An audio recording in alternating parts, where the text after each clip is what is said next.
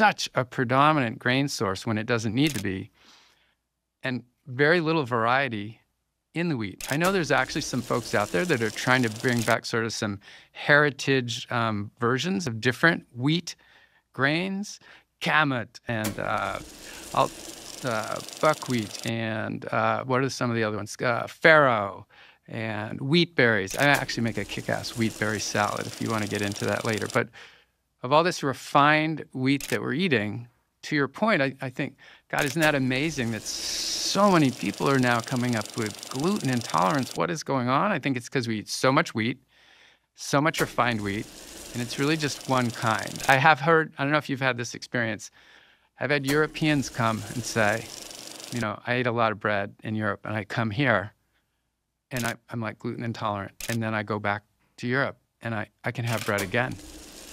And I, I, th- I don't know this, so I'm not a Yeah. food scientist, but I think that's part of it. Yeah, my